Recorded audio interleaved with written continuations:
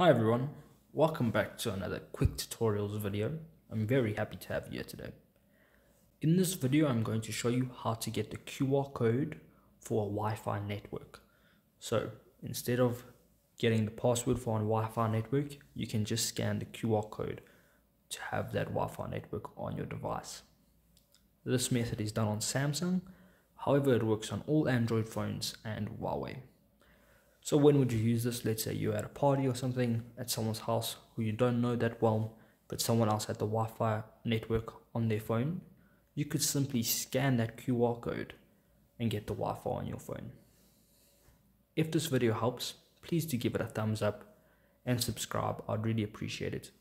If you think someone else needs it, please do share it. Let's get right into it. First thing you want to do is you want to go to your Wi-Fi. Of course, you can also access the Wi-Fi on your settings.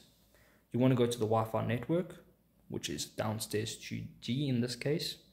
I'm just going to click on the settings. In the settings, you'll see at the bottom, there's a QR code. I'm just going to click on that QR code. And just like that, anyone can scan this QR code using any device and any QR code generator. If you are on a Samsung and you want to scan a QR code from the Wi-Fi app, you can of course just clicking on the top there. Anyways, thank you for watching this video. I really hope it helped. Please do give it a thumbs up and a like. I really appreciate that. Have a good day. Cheers.